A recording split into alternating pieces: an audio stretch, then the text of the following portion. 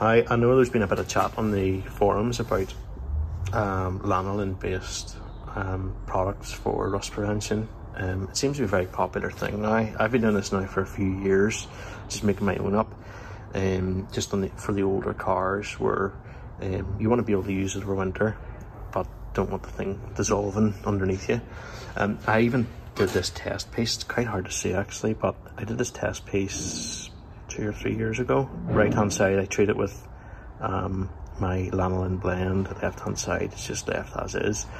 Um, and left it outside for a few years. In fact, I think I left it in a sludge of salt solution for uh, a few months as well.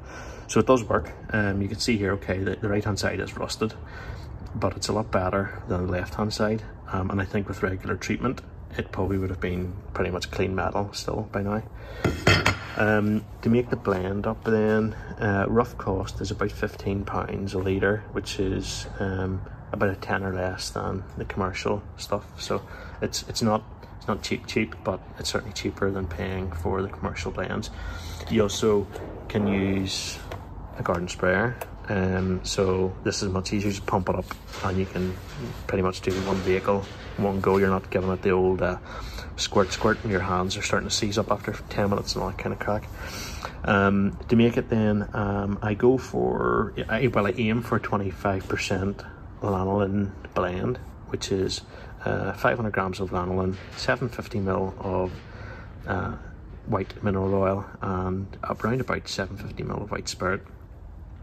Um, the really it's up to you. There's no exact science. The more lanolin in it, the I guess the the quicker it's going to set, um, and maybe the more better it's for rust prevention. Um, but the, the I guess the more lanolin then the more difficult it is to spray so you need to try and get a nice fan out of the sprayer um, and it takes a, a, little bit of back and forth you know I had to add a little bit more white spirit to, to this uh, before I sprayed it uh, just to make it spray better. Um, so I have links in the description below if you want to find these things to buy yourself.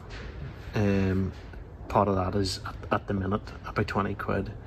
Um, mineral oil is about 350 for 500 ml, um, and white spirit's a couple of pound. Um, the the stuff you have to manhandle, you know, lift chunks of it and stick it in the, the ball. Um, it's it's used cosmetically actually, so it is a moisturizer. It's not bad for your skin, so you end up with the soft hands. Mine are a mess at the minute, but um, it's not bad for you. And then the rest you can just pour in. Um, and then I've got it here in a bucket of warm water, uh, just to help liquefy this because it is paste, um, and uh, to help blend it. Once you've mixed it up, it stays in solution. So it doesn't it doesn't go back into a gel form. It stays in that solution. So it's only a case of just remixing it and you can use it basically at any temperature as well which is quite good. I keep a pot. So once I finish this so I'll fill up one of these with whatever's left over and then I can use it with a paintbrush uh, to touch over bits and pieces over the winter just to keep on top of it. The vanning I've done already. Um, and you can see here uh, I cleaned it um, and then just sprayed it on um, prep wise, really, it's just a case of taking off the loose stuff and uh, and spraying it on. Uh, keep it away from your exhaust. It's not a, a massive deal if it goes on there, however, it's going to smell. And keep it away from your discs. And you can see here, it's starting to solidify a little bit, so that's what it dries as. It dries waxy and oily. It will attract dirt. So if you're going to stick it on your 2023 Maserati, uh, you're going to, you know, wonder why your arches are stinking.